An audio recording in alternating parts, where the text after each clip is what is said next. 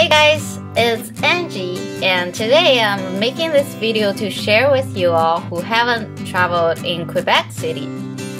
So, obviously, as you can see, I'm traveling with my dog, Timo. Timo, say hi. Yeah, that's my dog. And we're in Quebec City. So now I'm going to share with you about some differences that I found between Quebec City and Toronto. I feel like I'm doing a business presentation, eh? Alright. Yo, Timo is sleeping. Okay, goodbye. Number one, pets are not allowed on buses in Quebec City.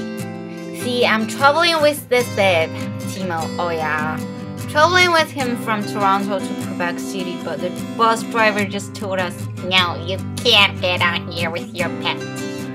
Uh, but that's okay, it's the policy of the city and uh, it only helps us to exercise more. And we're still enjoying our trip. Number two, as you probably know, everything in Quebec is French but I was expecting at least some English subtitles will be around, such as the restaurants' names, the menus, and the bus stop signs. But no, everything is in French. And as a Chinese person, I only know French like bonjour, merci. That's it.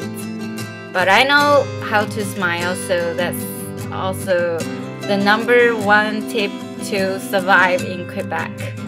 And uh, you will probably be surprised uh, by their English proficiency because I do feel like I speak a little better English than that.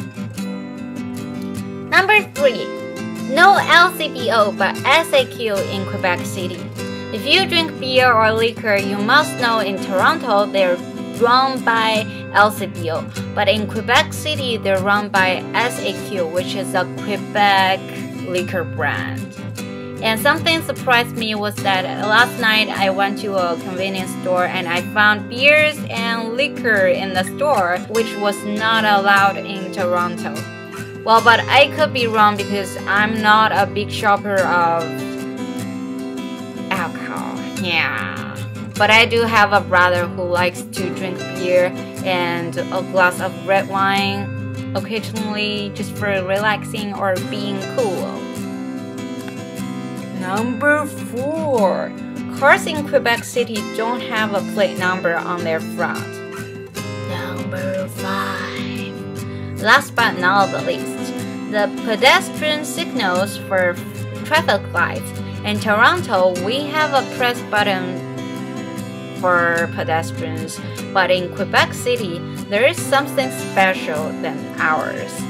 It's a scanner on the traffic light, which a pedestrian simply just uh, put their hands under the scanner, and then they will be fine.